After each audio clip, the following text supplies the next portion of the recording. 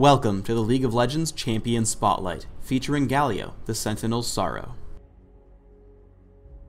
Galio is primarily a tank, with a few splashes of burst magic damage and support. His passive, Runic Skin, converts his magic resist into ability power, meaning that as he becomes more resilient against spells, he increases the power of his own. Galio's first skill is Resolute Smite. He casts a projectile to a target area, damaging and slowing enemies. Second comes Bulwark. This is Galio's primary support skill, increasing his or an ally's armor and magic resist significantly. Additionally, any time that target is struck by a champion, Galio is healed. Righteous Gust is Galio's third skill. He deals damage to enemies in a line, and sets up a directional wind tunnel. Allies running in the same direction of your cast will run faster while inside it. Galio's ultimate is Idol of Durand. He channels a taunt while taking reduced damage. At the end of the taunt, he deals bonus damage, based on how many times he was hit while channeling. There are a few sets of runes you can use. Magic Penetration Marks and Flat Health Quintessences are definitely best, but Mana Regeneration per level or Health per level work for seals, and Cooldown Reduction or Magic Resist are great for glyphs. Try to stay away from Dodge as a stat. It might make your ultimate weaker. My masteries are 921-0.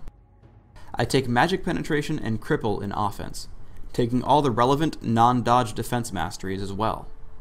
My summoner spells are Exhaust and Ghost, allowing me to catch up to and slow enemies for my teammates. My first item is Chalice of Harmony. The mana allows me to spam more, and the magic resist feeds me ability power. For my first kill, I lead Malzahar with Resolute Smite.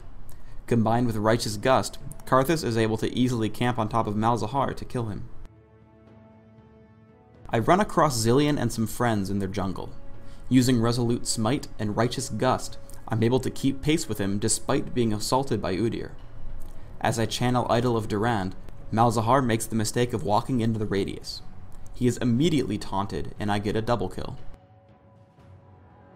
As our Karthus gets assaulted, I walk up to him so I may speed him up with Righteous Gust, while I slow the enemy Udyr with Resolute Smite. Remember that you have to cast Righteous Gust in the direction you want to run, so you might have to get near your teammates first. By level 9, I've maxed Resolute Smite, and have 2 points in Bulwark.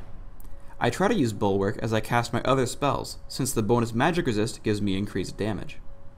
As I spam into the crowd, my enemies get nervous and assault me. The mere threat of my ultimate is enough to force enemies to stun me, so always wait a little while to cast it. Malzahar and Zilean are killed soon after Idol of Durand ends, as I run away low on health. Noting that Mordekaiser has no way of killing me now, I re-engage to keep him entertained in the fight, giving us another kill. In the enemy jungle, I pull a lot of attention. I send out Righteous Gust right before I get stunned, letting me run away very quickly.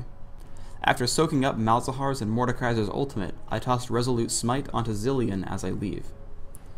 I put Bulwark on myself in time to tank Zilean's Time Bomb and the last of Mordekaiser's ultimate, while Pantheon picks up a few kills on the cooldownless enemies. I max Bulwark after Resolute Smite. Not only does the armor and magic resist provide me or a teammate with exceptional durability, but I gain tons of ability power when I activate the spell. The duration is long enough that I can use the temporary buff to affect the damage of all three of my other spells. My next big items are Aegis of the Legion and Mercury Treads, both because they give great magic resist, but also to support my team and allow me to break off stuns to start my ultimate sooner.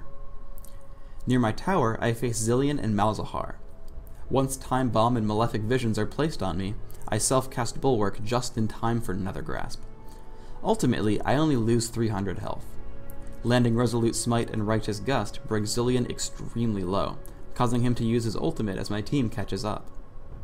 Once Pantheon begins Heartseeker Strike on Malzahar, I use my improved Exhaust to give him an easier kill. After the Aegis and Mercury Treads, my next big items would be Banshee's Veil and Guardian Angel. Banshee's Veil helps me get my ultimate off, while Guardian Angel helps me balance out my resists and is just overall a phenomenal tank item. Thanks for tuning in to the Galio Champion Spotlight. Spread your wings with Galio, because Justice will be done.